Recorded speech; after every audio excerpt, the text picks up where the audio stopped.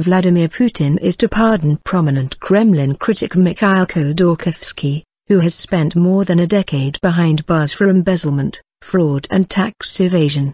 The Russian president revealed his decision during a press conference on Thursday, saying the former head of oil giant Yukos had requested a pardon because his mother was ill. He has already been in detention more than 10 years. This is a serious punishment and he is referring to humanitarian circumstances as his mother is ill. President Vladimir Putin. In comments broadcast on state television, Putin said it was the first time his foe had made such a request. I think given the circumstances we can take the decision and very soon the decree to pardon him will be signed. Putin said. He did not do this and then quite recently he wrote such a document and addressed me with a request for a pardon. He has already been in detention more than 10 years, this is a serious punishment and he is referring to humanitarian circumstances as his mother is ill. Kremlin spokesman Dmitry Peskov told the AFP news agency the request had been personally signed by Khodorkovsky. But one of Khodorkovsky's lawyers told the RIA Novosti news agency that neither had such a request had been made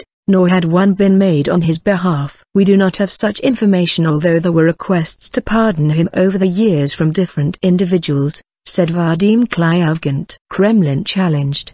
Khodorkovsky used his estimated fortune of $20 billion to support communist and liberal opposition to Putin prior to his arrest in 2003, when he was snatched off his corporate jet by special security forces. Khodorkovsky also challenged Kremlin interests by lobbying for the construction of a Yukos-controlled oil pipeline to China that would compete with the interests of state energy firms. He and his business partner, Platon Lebedev, were convicted of fraud and tax evasion in 2005. A second trial ended in 2010 with an embezzlement conviction for both men.